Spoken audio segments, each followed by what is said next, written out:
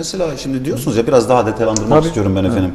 Ee, normal insanlar işlerinde, güçlerinde yemeğe gidiyorsunuz, geliyorsunuz. Evet. İşte şurası gezilir bir yer, tarihi bir yer gidip gezeyim diyorsunuz. Doğru. Ee, ya öyle bir ortam mıdır? Öyle ama çatışma da var. Öyle bir ortam doğru. E bizde de Kaldım. çatışma var. Tabii Türkiye'de elbette, de var yani. elbette yani. var. Yani ben hep şunu söylerim ben. Hep şunu söylerim.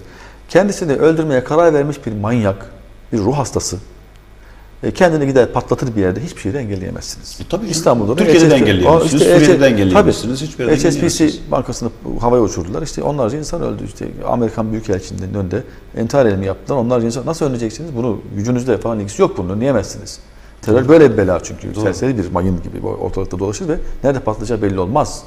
Şimdi Suriye'de bu sorunlar yaşanıyor. Adam arabaya tonlarca bomba yerleştirip kalabalığın ortasına patlatıyor. Bunu önleyemediniz diye siz güçsüz bir ülke olmuyorsunuz. Bunu kimse önleyemez çünkü. Şimdi kaldığım süre boyunca top sesleri duydum hep. Suriye topçusu muhalefete ait olduğunu düşündüğü, bildiği yerleri vurdu. Hatta sıcak temasın olduğu çatışmalar da oldu. Kulağımıza geldi Kalashnikov sesleri vesaire Evet. vesaire. Ama halk dışarıda dolaşıyordu. Bir çarpıcı şeyi söylememe e, izin e, Buyurun, verin buyurun Mustafa. e, lütfen Ali. E, ben dedim ya Bağdat'taydım. Vallahi Bağdat'ı adeta otelin penceresinden izleyebildim ben. Suriye'de işte orada da bir iç savaş var. Orada da insan ülke savaş halinde. E, değil mi? Esad Evet. savaşı özgürlükleri kısıtlamak için bir bahane haline getirmemiş. Her şeyi yapabiliyorsunuz. Savaş var deyip özgürlükleri kısıtlayabilirdi. Ben özgürlüklerin kısıtlanmasının ne olduğunu gittim Bağdat'ta gördüm. Şimdi Bağdat sorunsuz bir ülke gibi, kent gibi anlatılıyor. Şam efendim çatışmadan geçilmeyen halbuki oraya şey. da demo- demokrasi götürüldü. Ya evet, Suriye'den gördüm. daha önce götürüldü yani. Çok evet gördüm. Evet, Türkiye'nin desteğiyle yine o Tabii. zaman. İşte Türkiye Suriye'ye götürmek istenen demokrasi de o bu arada. Maalesef. Ama Demek olmayacak. gö- götürememişler değil mi? Irak'ı götürememişler Elbette. demek ki. Bitirmişler ülkeyi. Evet. Gerçekten bitmiş. Peki e, Mustafa Bey şimdi e, demin e, konuşmanız içerisinde Alevi Sünni olayına biraz değindik ama e, tabii elimiz Hatay'da böyle bir e, yapıya sahip. Yani Alevisi de var, Sünnisi Sünnisi de de var, var, Hristiyanı Hatay da var, Hristiyanı tabii. da var, Ermenisi de Tabii. var ve uzun zamandır hakikaten burada bir sorun olmadan yaşanıyor. Belki Evet. insanlar kendi içlerinde ne kadar barışıklar içlerinde bir şey besliyorlar mı bilmiyorum ama İşte, en azından evet. dışa vurumu biz bir sorun yok. Dışa vurumunda bir- Öyle, biz de öyle bir sorun yok. Ee, fakat son dönemlerde e, bu şey ithal edilmeye çalışıldı e, ilimiz Hatay'a da. E, zaten e, e, Sayın Vali'nin bu konuda önlem alması, işte gösteri yapılmasın falan hatta bir dönem yani yüzde on da olsa makul karşıladı. Dedik ki ya belki bir bildikleri vardır. Vardır. Böyle de böyle düşünelim. Bu kardeşlik bozulmasın manasında ama bir şekilde buraya aslında ithal edildi. Her ne kadar eleme dökülmüyorsa. Doğru. Çünkü artık e, e, aynı apartmanda oturan Alevi Sünniler bile inerken biraz daha bir, bir şeyle inmeye başladılar. Bunu ektiler. Bunu ben yaşıyorum yani. Yani kötü. kimse yaşamıyorsa bile ben yaşıyorum. Çok kötü gerçekten. E, bir şekilde ekildi bu. E, halbuki siz Suriye'de bile Suriye'nin kaynağı Alevi Sünni orada Evet. çünkü Ale- orada öyle bir problem olmadığını e, söylüyorsunuz. Evet. Bu- Buradan e, e, ne önerirsiniz Hatay'a deneyimli bir yazar olarak? Evet. Hatay bir kere kimsenin önerisine ihtiyaç duymayacak kadar bunu çok anlattığınız gibi başarılı bir şekilde hayata geçirmiş zaten. Yani o kadar e, muazzam bir e, ortak yaşama kültürü burada e, geliştirilmiş ki e, bakın hala bozulamıyor her şeye rağmen. Dışarıdan nüfus taşırsanız olur. Bunun bir kere önünün kesilmesi lazım. Bu ülkenin yöneticileri bu kötülüğü Hatay'a, Antakya'ya yapmamalılar. Böyle önlenebilir. Benim gördüğüm de e, bunlar maalesef. Yani bu, bu ülkenin, Hatay'ın e, Alevi nüfusunun ciddi bir endişesi var. Demografik yapının değiştirdiğine ilişkin bir endişesi var. Şimdi Sayın Başbakan çıkıp bu tür açıklamalar yaparsa E, elbette. mezhepçilik üzerinden Yaparsa ne olacak? Abi benim de yani korkmak artık hakkım E, oluyor yani. aynen öyle. hakkım oluyor yani. Aynen öyle Bir de. El-Kaide militanları dediğimiz, Müslüman kardeşler dediğimiz zaman Evet. zaman basından izliyorsunuzdur. Evet, evet. Mustafa'ya burada cirit atıyorlar adamlar. Tabii elbette. Ben gördüm. Sınırlarda duran asker yok, polis yok, bir şey yok. isteyen istediği gibi geçiyor. Bu konuda ilk haberi ben yaptım hani bunu. Öyle mi? Evet. O bunu, zaman bunu, sizden- bunu sizden gurur- gururla söyleyeyim. evet. Hep duyardık söylenirdi.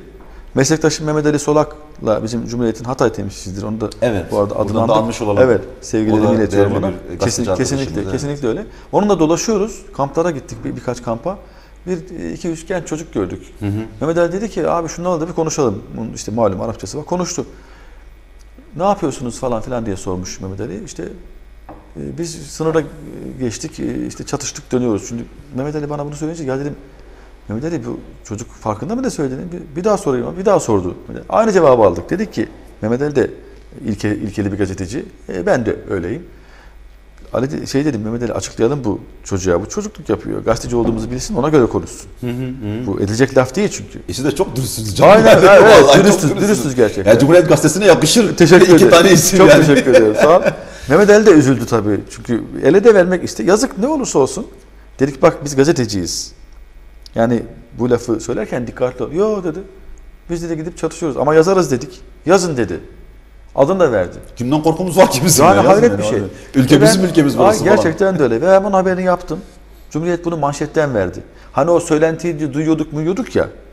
İlk kez haber olarak Cumhuriyet bunu verince tabii kıyamet koptu. Ondan sonra sınırları biraz sıkıştırdılar vesaire vesaire. Çocuk da şey dedi hatta yani belki orada da vardır kitapta da olabilir. Çalışıp geliyorum. E, peki bazen dedi işte kamuoyundan e, bu, buna bu, bu, bu konuya ilişkin bir şikayet şikayet gelince öyle anlatmış çünkü. Bizi hemen şeydeki neredeki Antep'te mi? Bir yerdeki Başka kamplara, evet. ha, o kampa gönderiyor. Dinleniyoruz ne güzel oluyor falan diyor. Pervasızca anlatıyor çocuk bunu mesela. Şimdi bunlar oluyor işte. İlk onu biz ya. Doğru. Burası bir istasyon haline geldi. Evet. Suriye'ye geçişte Antakya istasyon oldu. Peki- Tesadüf değil, talihsiz bir durum bu. Özellikle yapılmış bir şeydir gerçekten. Peki abi şimdi bizde bir de şöyle bir endişe var. Ee, deniyor ki bu bu kişiler, Suriyeliler, tabii başta o El-Kaide militanları için söylüyorum, Müslüman kardeşlerdeki örgütteki militanlar için söylüyorum. Ee, yarın Suriye'deki süreç özellikle başarılı olmaz ise, hedeflenen proje başarılı olmaz ise ve Beşar Esad e, iktidarda kalırsa ki benim temennim bu. Ali Yolcu olarak benim temennim bu. Benim temennim Başkası kim istiyorsa düşünsün hiç umurumda bile değil. Benim yani. temennim o, ben evet, kim ne istiyorsa düşünsün. Ee, bu adamlar da ya arkadaş siz bizi savaştırdınız. Ee, bir şekilde destek sağladınız. Savaştırdınız, gönderdiniz, gittik, geldik Türkiye'ye, ABD'ye her neyse. Ama şimdi bizim Evet. başımız belada. ABD'nin değil. Bu adamlar Türkiye'de çünkü. E biz de buradan gitmiyoruz. Biz oraya nasıl gidelim, gitmeyeceğiz derlerse. Derler mi? Ben Bir- olsam ben olsam derim. ne olur abi o Yani zaman halimiz ben- bizim? Çok kötü olur. Olmadı mı sevgili Ali? Lütfen bırak bu tahmininin gerçekleşmesini beklemeyi. Şeyi lütfen hatırla. E, Libya'dan e, geldiler e, şeye Antalya'ya, Alanya'ya vesaire işte. Orada neler yapıldı? Tabii herkes konuktu. Bu ülkeye herkes gelebilir. Ayrı mesele. Elbette ki. Edebinle, adabınla geleceksen başımızın üzerinde yeri var. Türkiye konuksever bir ülkedir. Kürdüyle, Arabıyla, Çerkeziyle, Lazıyla. Biz ondan bahsetmiyoruz. E ne yaptılar? Otellerde sorun çıkardılar. O cihadist tipler.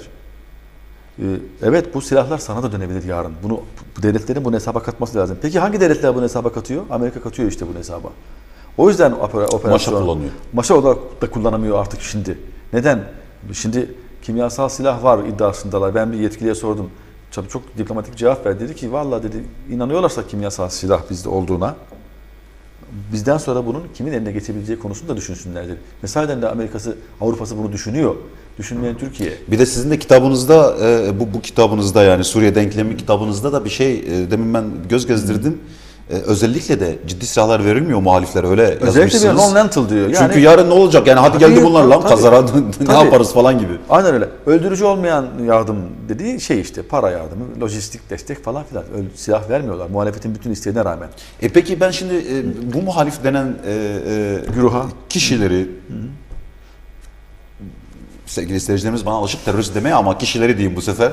E, bu kişileri şirin gösterme adına söylemiyorum bunu ama. Anladım, Yani anladım. aslında zavallı insanlar o zaman kullanılıyor. Ha ABD kullandı, ha Türkiye kullandı, Tabii ha ki. bilmem Suriye kullandı, ha Tabii, başkası kullandı. İnanç gibi çok tehlikeli olabilecek bir kavramla onların kafasına giriliyor da o yüzden. Acaba yani. o mu? E, pek- Yoksa para mı? Ya tek da başka bir şey mi? para Ya olduğunu keşke inanç olsa, inanç para- olsa gene saygı tabii, duyacağım tabii. yani. Para olduğunu da biliyoruz. Mesela 3000 Libyalı e, de- dediler. Bunları tabii ispatlayamıyoruz söylenti ama yalanlanmayınca doğru kabul etmek durumunda kalıyoruz. 3000 Libyalı'nın e, paralı asker olarak neredeyse çalıştırıldığı, ondan sonra savaşlara gönderildiği biliniyor.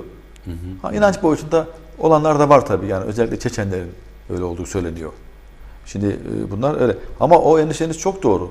Aklı başında bir iktidar, aklı başında bir yönetici bunu düşünür. Bunlar gerçekten Esad gitmezse, Suriye rejimi kalırsa bunlara ne olur? Düşünmüyorlar mı peki? Düşünmez- Yani biz buradan Valla düşünebiliyorsak- düşün- evet. Düşünüyor olmaları lazım. Çünkü o silahlara dönebilir. Kandırılmışlık duygusu insana neler yaptırmaz ki? Değil mi? Neler neler yaptırır? Düşünün yani şimdi o insanları bir de e, sorumluluğunuz var. Beslemek durumunda kalacaksınız. Evet. Peki Mustafa Bey düşünüyordur dediniz iktidar için. Bir şey daha düşünüyordur diye düşünüyoruz biz burada. Yani öyle bir kanı oluştu şu anda Hatay'da en azından. Ee, aslında e, e, e, Tayyip Erdoğan başkanlığındaki, başbakanlığındaki AKP hükümeti Suriye tutumunu zaman zaman gözden geçiriyor. Böyle bir kanı var şu anda burada. Ve aslında yanlış bir adım attığının da farkında gibi. Zaten dikkat ederseniz eskisi gibi söylemlerini sertleştirmiyor Hayır, artık doğru. başbakan diyoruz Doğru. biz burada Hataylılar olarak. E, geri adım atmak istiyor ama atamıyor. Bu tespite ne diyorsunuz? Doğru diyorum buna. Fakat Türkiye bunu yine açık seçik yap, yapmıyor, yapamıyor. Biz bunun arka planını işte Suriyeli yetkililerden öğreniyoruz. Mesela dediğiniz çok doğru. Hani e, üslubunu değiştirdi. E, bir de yalnız bırakıldı. NATO'da yalnız bırakıldı. Avrupa biliyorsunuz e, muhalefetin merkezi artık Türkiye değil. Bakma Türkiye'de olanlar da var ama asıl merkez şimdi Katar, Suudi Arabistan falan oldu. Türkiye devreden çıkarılıyor yavaş yavaş. Ortadoğu'da e, Suriye meselesinde de Filistin meselesinde de Mısır öyle geçti vesaire. O yeşil kuşak teorisine uygun bir İslam anlayışı, orada ılımlı İslam anlayışı iktidar olduğu için e, maalesef Orta Doğu'da e, Amerika'nın en büyük müttefiki de Sünniler bu arada. Kötü bir şey bu her neyse. Buna uygun bir iktidar var e, Mısır'da. Onunla yapıyor işini. Türkiye yalnız bırakıldı bu anlamda. Fakat Türkiye ben üstü, açıklama yapmasa bile üslubunu yumuşatsa geri adım atmış olduğunu dosta, düşmana bir parça göstermiş olabilir. Yapmıyor. Biz bunu okuyoruz. Bunu söylemiyor. Fakat Suriyeli yetkililerden biz bunun arka plandaki doğrusunu ya da gerçeğini öğreniyoruz. Nedir o? Mesela e, Dışişleri Bakan Yardımcısı ile görüştük. Önemli bir figür. Adamcağız bana dedi ki yani biz dedi e, Başkan Esad diyalog çağrısı yaptı. Bu diyalog çağrısı Suriyeli bütün muhalifler için geçerlidir. Evet. Yalnız altını istiyorum sevgili dostum. Suriyeli muhalifler dedi. Biz dedi Suriyeli muhaliflerle oturur konuşuruz ama Suriyeli olmayan tek bir muhalif bizim karşımıza gelemez. Şeyi kastediyor. Yani cihatçıları, selefileri kastediyor.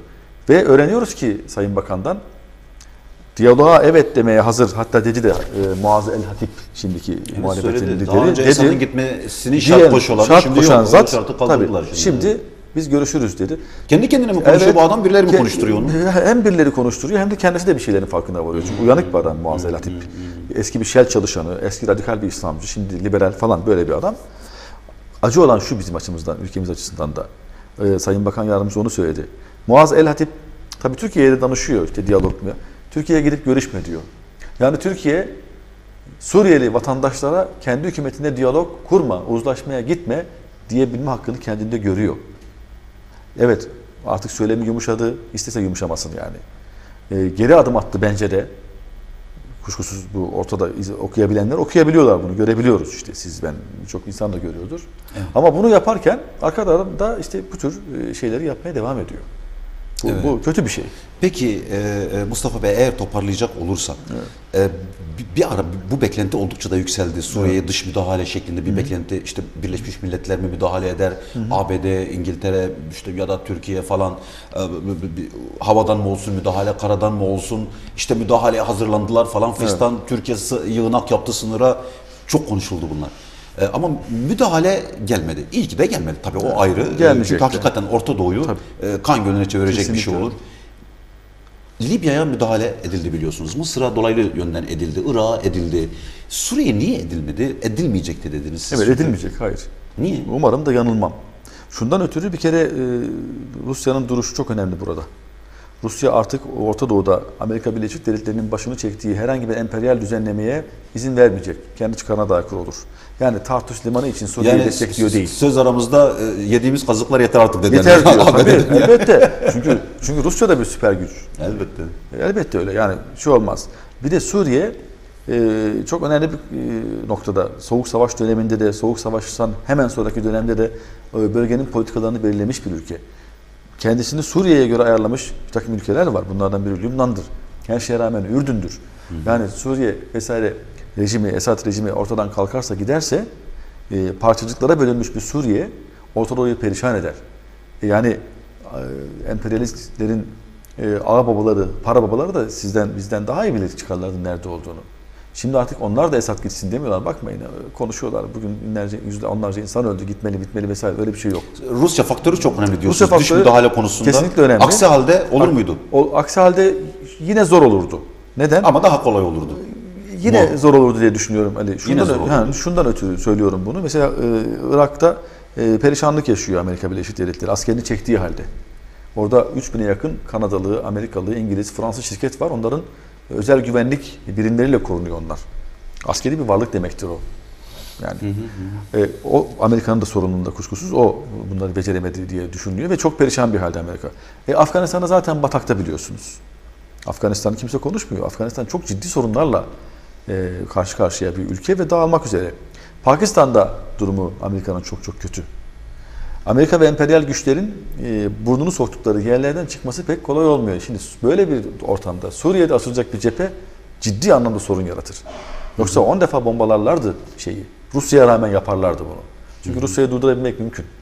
Başka e, Birleşmiş Milletler'den karar geçilmez de işte bir başka NATO, NATO diye özel bir şey oluşturup, birlik oluşturup vesaire falan Suriye'nin başına çöreklenebilirlerdi.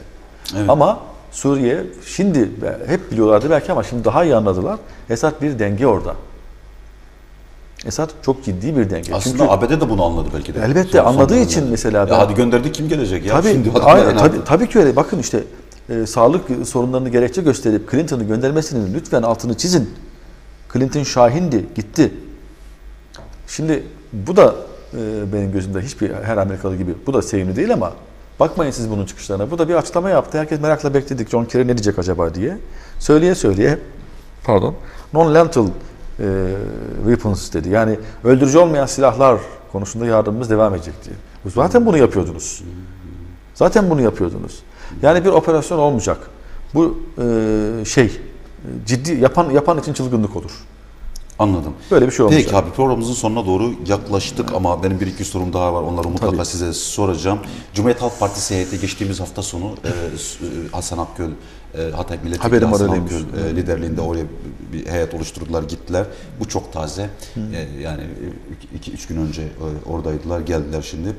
Açıklamalarında şunu ifade ettiler Sayın Hasan Akgöl dedi ki e, Sayın Esad e, bu arada Sayın Esad diyoruz ya umarız başımıza iş açmayız. Gerçi Sayın Öcalan denen bir ülkede Sayın Esad demek resmi bir ülkenin lideri. Netice itibariyle sevgili evet. seyirciler. Sayın Esad demiş ki e, e, Türkiye ile biz iyi komşuluk ilişkileri içinde olmak istiyoruz. Tıpkı eskisi gibi. Ve Türkiye şu anda sınırlarını kontrol etsin. Yani Mesele bu terörist denen kişilere Libya'dan, Katar'dan, Cart'tan, Curt'tan gelen teröriste sınırlarını kapatsın. Mesele biter. İşte Aynen. gelip burada savaşıp gidip orada dinleniyor sizin o yaptığınız haberde gibi bunu kessin.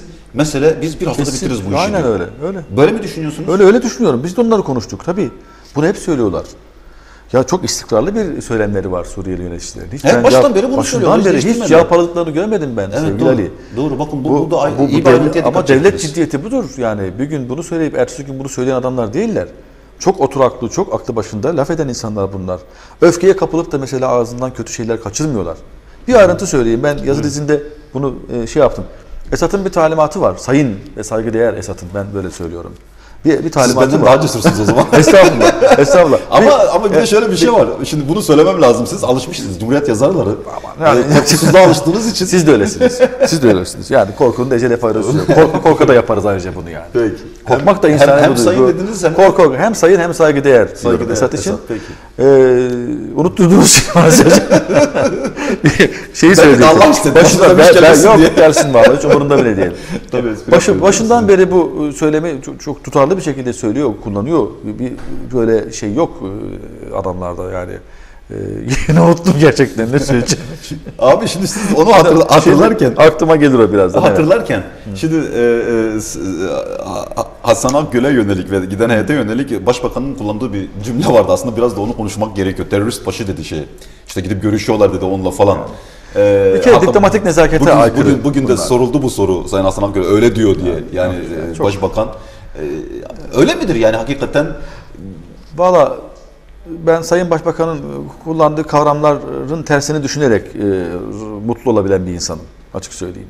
Yani e, ayrıca bu diplomatik nezakete de yakışmıyor gerçekten de. Yani Birleşmiş Milletler'in bile terörist demediği birisine siz terörist derseniz bunun hesabını E size, kaldı ki bir de bize şey sorarlar ortamında söylüyor yani. abi bunu İmralı süreci ortamında söylüyor Yani. bile. Yani siz Tabii, PKK lideriyle barış adına Tabii. Ne güzel, bravo. adına gidip Yapın. görüşüyorsunuz. Tabii ama- Yıllardır terörist dediğiniz, bütün yanın terörist dediği. Ha ben karşı değilim yani bunu söylerken. de biliyorum, karşı anladım. Zaten Görüşsün. altını çizdik zaten. Yani görüşmesini Tabii, istiyoruz yok, zaten. kimse bir şey demiyor resmi bir devletin başkanına Yok yanlış. terörist demek. Sahiden de Terörist e, başı demek. yok doğru bir şey değil. Yani söylemlerine tutarlı bu insanlar başından beri. Ha Sayın Esat, Sayın ve saygıdeğer Esat'ın bir talimatı var bilir misiniz ne olduğunu? Ben gazetede yazdım gözünüzden kaçmış olabilir. Türk bayrağını yakmayın diyor. Ha, tabii o ilçeler Bakın bu, bu, bir- bu, bu nezakettir. Bir de şey öfkeye öfkeye kapılıp da yapabilirler değil mi? Hayır şöyle şey yapmıyorlar. Bir şey daha dikkatimi çekti. Ee, gittiğimiz zaman yanımızda Amerikan pasaport taşıyan bir dostumuz da vardı. Ufak bir sorun çıktı. Biraz beklettiler bizi. Tabii çok nazik davrandılar. Orada e, o dostumuz bize dedi ki sizin de bildiğiniz birisi de ismini vermeyeyim ayıp olmasın diye. Çünkü çok saygıdeğer bir arkadaşımız yanlış anlayabilir. Ee, pasaportuyla ilgili bir sorun. Amerika bir uygulaması var Suriyelilere, Suriye vatandaşlarına bir biçimsiz bir uygulama e, getirmiş. Suriye'de anında karşılık vermiş. O da aynı şeyi yapıyor. Bir şey dikkatimi çekti benim. Bakın bir şey yaparsanız Suriye'den hemen cevap alıyorsunuz. Bizi e, götüren Türk şoför dedi ki e, vergi neydi işte bilmem ne muafiyeti dışında benzin harcaması adı altında bir para alınıyormuş Türk şoförlerinden. Yani geçişleri engellesinler diye. Suriye'de aynı uygulamayı yapıyor şimdi. O da tabii perişan olan bizim Türk şoförler Hatay'dan Antakya'dan gidenler oluyor. Son nokta olsun bu konuda söyleyeceğim şey. Suriye o kadar olgun bir devlet ki bakın vizeleri e, vize yok artık. Vizesiz gidiyorsunuz. kimlikle Kimlikle gidiyorsunuz. edik ama şimdi, pasaportla Türkiye- da geçiyoruz evet, artık. Türkiye vize yeniden vize uygulamasını başlatmadığı için Suriye'de başlatmıyor. Ya çok gerçekten ilişkileri komşularıyla çok iyi bir ülke Suriye. Vize koyarsa Türkiye Türkiye şey de koyacak. Suriye'de. İlk adım o atmıyor. Peki ben şeye geri döneceğim sonra son bir şey söyleyeceğim size. Tamam. Ee, siz demin dediniz ya e, e, Esad'ın çok akıllı bir politika izlediğini dediniz. İyi bir, bir devlet adamıdır.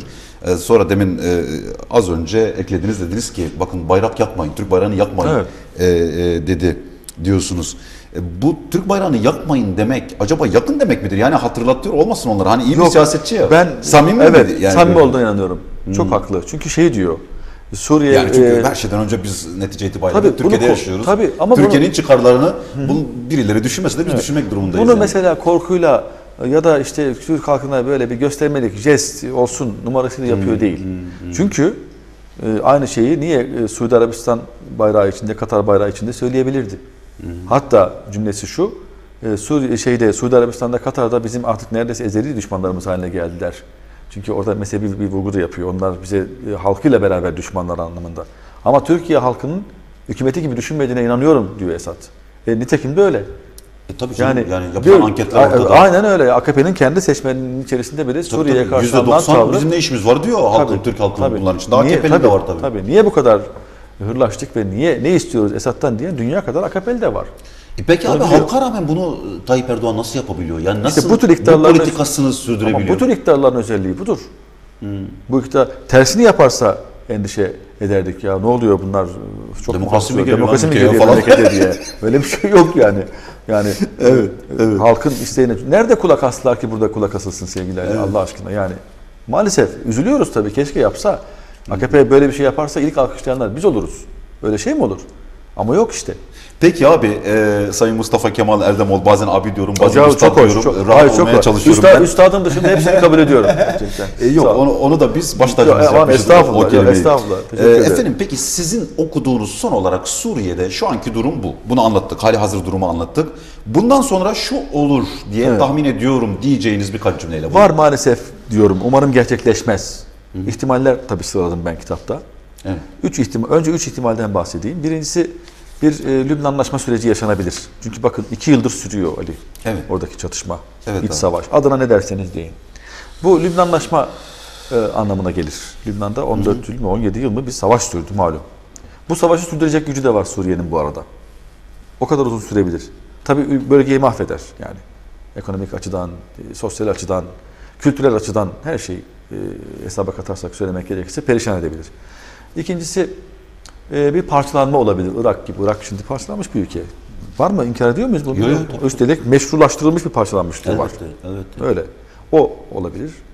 E, Üçüncüsü ve en korkuncu küçük küçük devletçikler, yapılar daha doğrusu oluşturabilir. Afganistan gibi. Afganistan'da merkezi otorite hak getire. Yok öyle bir şey. Bütün bunlar Suriye için mevcut. Öngördüğünüz Maalesef. Evet. hususlar. Evet. Şimdi bu hengameden e, çıkarsa Esad ve Esas Suriye sorun bu. Esas sorun bu zaten. Evet.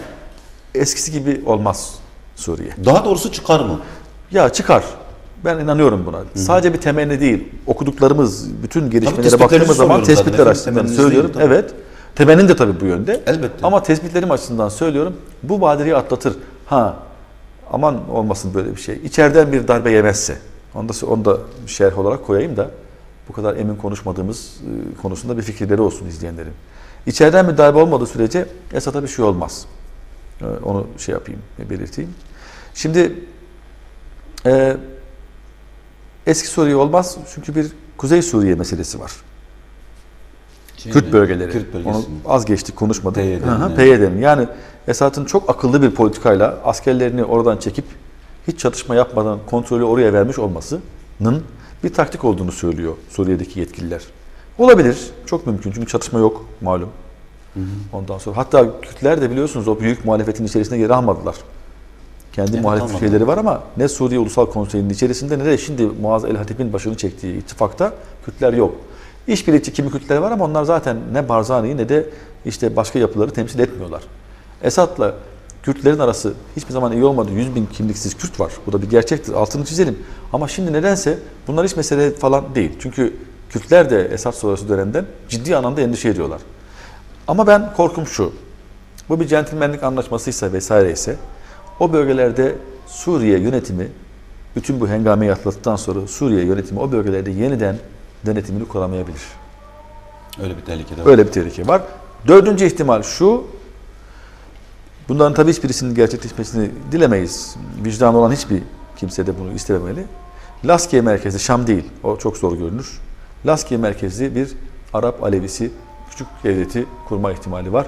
O zaman da Alevi'den çok Sunni o devletin içinde yer alır.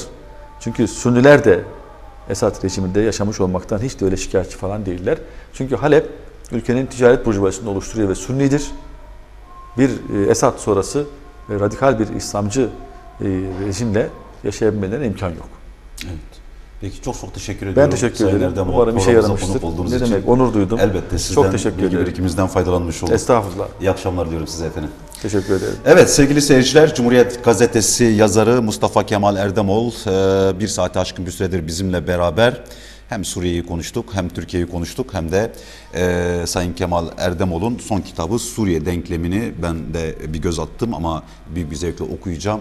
E, bu programdan da öyle anladım yazarı e, Sayın Erdemol'la birlikte olduk. Önümüzdeki hafta pazartesi günü yeni bir Demokrasi Bulvarı programında sizlerle yeniden birlikte oluncaya dek şimdilik iyi akşamlar diliyorum.